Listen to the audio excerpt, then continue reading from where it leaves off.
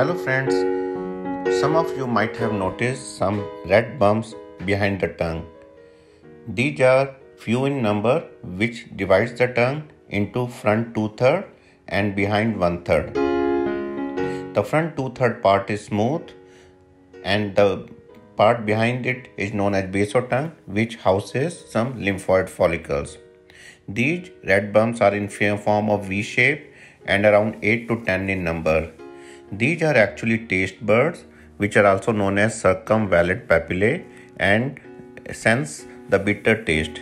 They also have many thousands of further taste buds in them which can feel temperature and touch sensation. These are normal structures and nothing to get afraid by these bumps.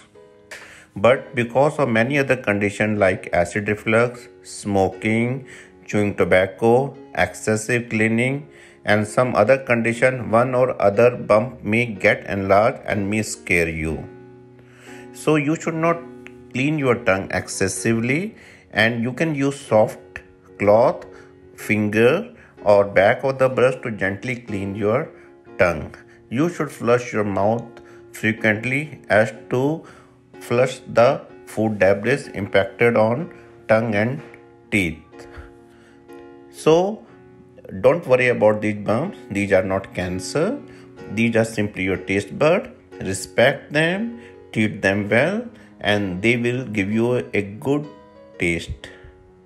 So I'm just closing the video. I hope you have liked the video. Please subscribe and share the video. Thank you.